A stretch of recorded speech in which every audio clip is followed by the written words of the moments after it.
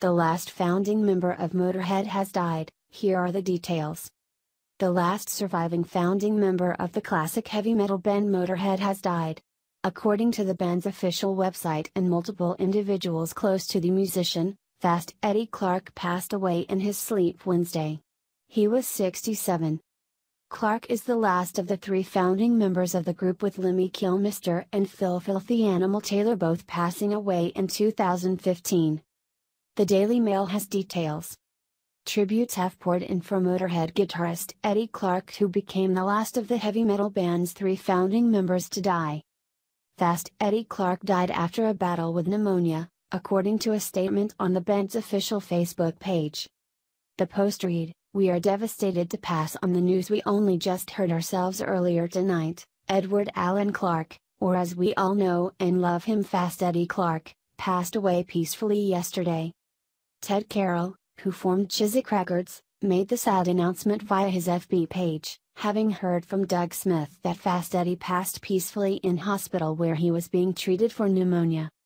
Phil Campbell, who joined the band as a guitarist in 1984, said, Just heard the sad news that Fast Eddie Clarke has passed away. Such a shock, he will be remembered for his iconic riffs and was a true rock and roller. R.I.P. Eddie.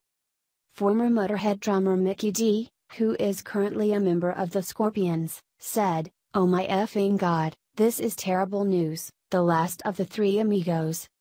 I saw Eddie not too long ago and he was in great shape. So this is a complete shock. Me and Eddie always hit it off great.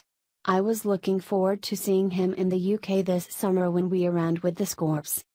Referring to Motorhead members Lemmy and Phil Philthy Animal Taylor, who both died in 2015, he added, Now Lem and Philthy can jam with Eddie again, and if you listen carefully I'm sure you'll hear them, so watch out. Clarke is considered one of the classic members of Motorhead, along with frontman Lemmy and drummer Taylor. Here is the official statement from Motorhead's Facebook page. Here is video of Clarke performing some classic riffs. Our thoughts and prayers are with Clarke's family, friends, and fans. Fans.